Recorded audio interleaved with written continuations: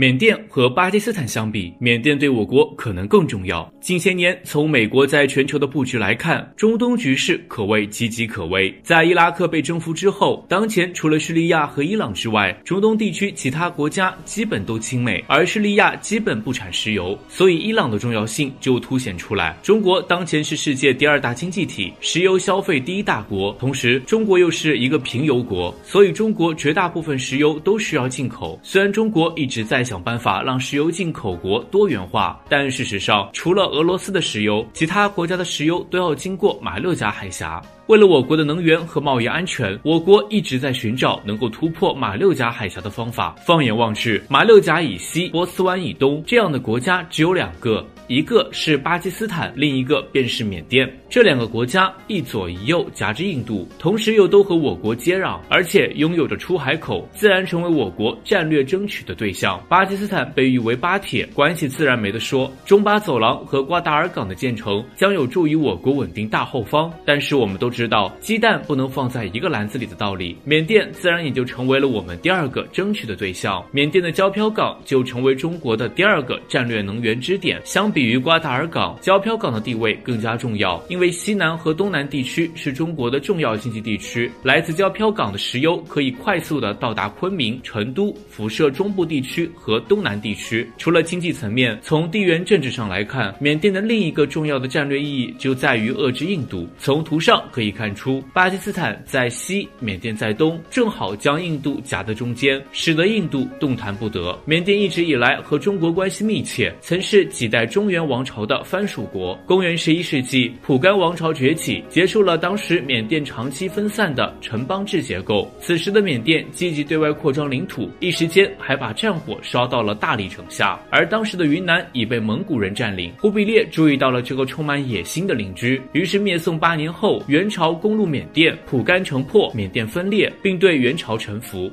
元在缅甸设立了缅中行省，但允许其保持独立性，但需要在名义上承认元的统治。到了明朝，在继承元羁縻政策的基础上，明英宗三次征讨陆川，西南版图极大扩展。当时，整个缅甸、老挝北部和泰国北部都被明朝控制，并设三宣六卫制。后期明朝衰落，缅甸内部东须王朝崛起，明丧失了在缅北的大片领土。到了明末，南明帝退到缅甸瓦城避难，东须。将他囚禁起来，并献给了清军。而当时追随南明帝的士兵和百姓逃到缅甸麻利坝，他们的后人便是今天缅甸少数民族果敢族。到了乾隆时期，缅甸再次和中国发生冲突，并进行了四次战争，清军都以失败告终。可以说，我们和这个邻居历史上有过不少的摩擦。缅甸做我们的附属国，其实并没有真正意义上属于过中国。对于中国，缅甸也一直很清醒，那就是保持中立。在上世纪五十年。代，美国曾经拉拢缅甸遏制中国，但缅甸没有答应。上世纪七八十年代，苏联拉拢缅甸，缅甸也再次拒绝。如今，缅甸开始偏向中国。缅甸之所以偏向中国，是因为缅甸在走了几十年的弯路的情况下，发现只有中国是真正的帮助他。而缅甸在经济之后的十几年后，也痛定思痛，开始发展经济。随着我们“一带一路”倡议的提出，加上缅甸特殊的地理位置，我们彼此之间的联系也变得更加紧。密。此外，缅甸还租借我国科科群岛。科科群岛为缅甸仰光省西南方向的一个岛群，东靠安达曼海，南与印度安达曼尼科巴群岛隔海相望，西临孟加拉湾。科科群岛主要包括大科科岛、小科科岛，总共十七个岛屿，位于云南省、印度、斯里兰卡和马六甲所组成区域的中心地带。该岛还是外媒所盛传中国珍珠岛链的一个重要组成部分，战略位置极其重要。可见，比起咱们的巴铁，缅缅甸。的区位优势，不管是在经济层面还是在地缘政治上来说，确实被低估了。对此，你觉得缅甸对我国有多重要呢？